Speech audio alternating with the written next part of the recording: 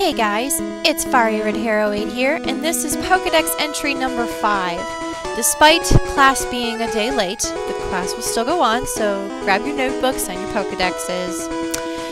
We're going to start off today with Doduo, which is a normal flying type, and evolves into Dodrio at level 31.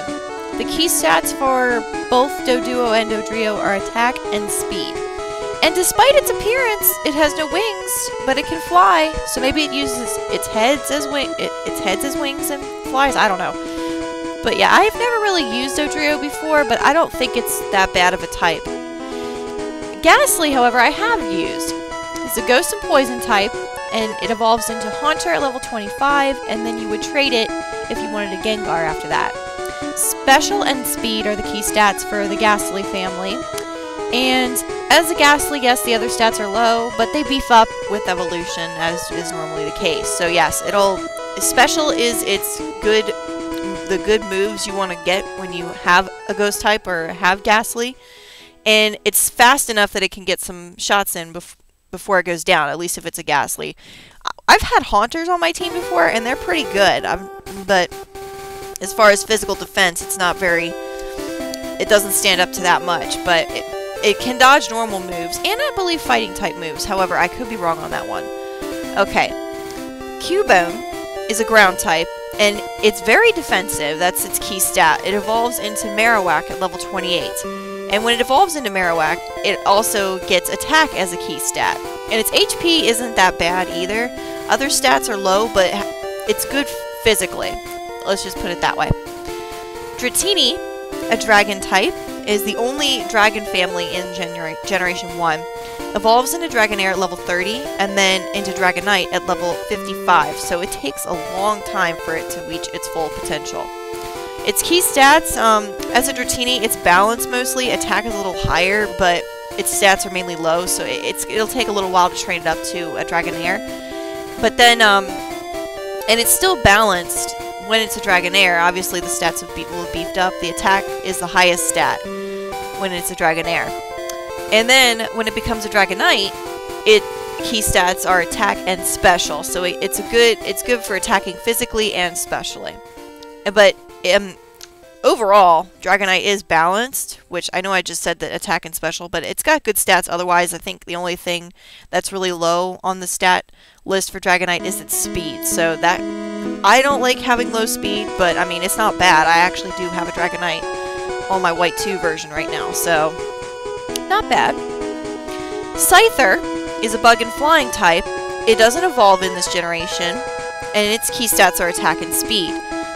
Um, all of its stats really are balanced except for the special, and it doesn't learn any bug moves in this game, or in this generation. And it also, but it, however, it does learn the move Slash at level 29 and Wing Attack at level 50, but it only learns Wing Attack at level 50 in yellow from what I what I saw. So Slash is a good move to have, and it's a good fast Pokemon. Pinsir is a bug Pokemon, and it does not evolve in this generation. I don't think it has an evolution, but I don't know all the evolutions, so I could be wrong. And it's uh, it has attack and defense as its key stat, so it can hold its own and it can also dish out damage. Porygon is a normal type, and it evolves, it, or it doesn't evolve, it does not evolve in this generation. Its stats are balanced, um, it's a little on the slow side, however it does learn Psybeam at level 23 and Tri Attack at level 42. So that's not bad, it's not bad moves to learn in Gen 1. Snorlax, who just got away from us the other day, does not evolve in this game, and even so, it would have been a final evolution, and its key stats are HP and attack. So I was wrong in the last episode where I was saying that it's defensive. It's not so much defensive, but it has a lot of health. So that's why it was taking, it wasn't taking as much damage. The only reason I did was because of Razor Leaf. But uh, never fear, there is another Snorlax, so I'm gonna take I'm gonna take a shot at catching that one. I well, I do want to catch it, but don't worry, I will save for that point. At least I hope to. I just I get skittish when it comes to I get skittish when it comes to saving because there's no way to recover any file if I save over it, even in practice. And last but not least, I can't believe I haven't announced this one, is Raichu. It's the evolved form of Pikachu, but as I have explained, Raichu, you cannot you cannot evolve your Pikachu in Pokemon Yellow. The only way you can get a Raichu, I believe, is if you trade over a Pikachu and evolve that one, or if you just evolve it straight up from Red and Blue and um, trade it over that way. But however, I will go over it. And its key stats are speed, special, and attack. Its HP and defense are not that great, as we already know. Pikachu's defense and HP are not that great either.